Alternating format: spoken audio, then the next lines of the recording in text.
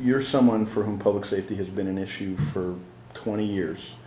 Um, You know, this, it's not surprising that you're not coming to us with a measure to guarantee funding for affordable housing. I mean, this has been sort of your baby.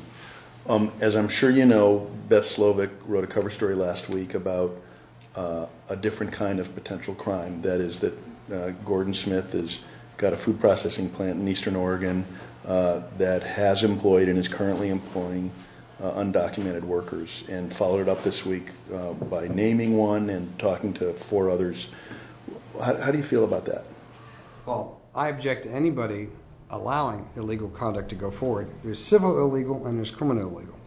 Now, the reason I've been an advocate is actually it seems has seemed to me that there was a gap in terms of who's going to step forward and advocate for public safety. I mean, there's a pantheon of characters out there who are doing good things, and I support them when they're out there for social services or they're for education. And as a legislator, I did too. But I kept looking at public safety, and I saw that the, the, the pulpit seemed to be empty. And someone needs to step in there and put together a program and bring forth ideas. And so I chose to do that.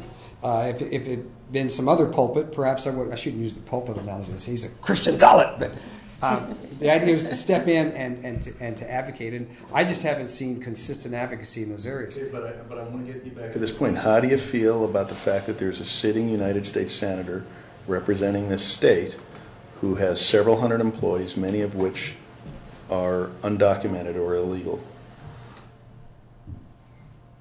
I'm going to be real careful about this one. My view is every business in this state should be subjected to scrutiny about following the law. And uh, we all know that Gordon Smith is not allowed to run that business, although his wife is chairman of the board, because as a senator he has to step back. I accept his representations that he has told the people as best he can to do everything they can to comply with the law. And I accept that. And having accepted that, that doesn't mean I, we don't go beyond that and say we're still going to look at compliance and insist that there be compliance. I also think, though, across the board, we need to be very careful about how we approach the issue of illegal immigration. It has not been resolved at the federal level.